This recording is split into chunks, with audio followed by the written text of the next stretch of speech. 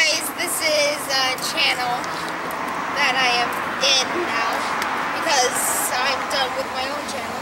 That was a different video and I'm here with Bennett, my awesome friend. And we're here to talk about the Mario and Sonic games. Yes. Nintendo's watching, so... Yeah, Nintendo's watching. Hey, Nintendo, what's up? They didn't we give us you. any money at all. Yeah, YouTube. I gotta go put this money I, I, gotta put the uh, the uh, money that YouTube gave me. I want it. I'll be right back. I'll be right back. I'll be right back. He, he's gonna come back. He's gonna go get a milkshake at Fat Burger, even though we just had Fat Burger. Again, that's way off topic. But here we're talking about Mario and Sonic. Uh, my opinion, Sonic way better than Mario. I don't know. I just he's back. He plays Mario, back. Uh, I just think Sonic was a better game for me because I didn't really have the DS growing up.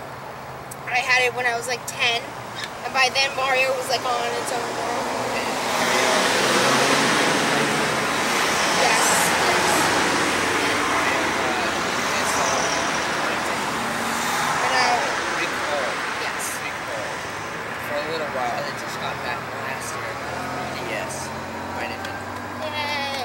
So did Sonic actually. Sonic came out two months ago. Yeah. That was a- feels like a long time for Sonic.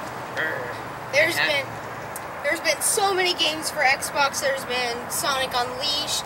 There's been for Wii the Black Knight, and there's a new one for the Wii U, The Lost World, that I actually really want for Christmas. And yeah, he was like jogging. He was like looking at us. So that was creepy. Yeah, it was. I, I, was two.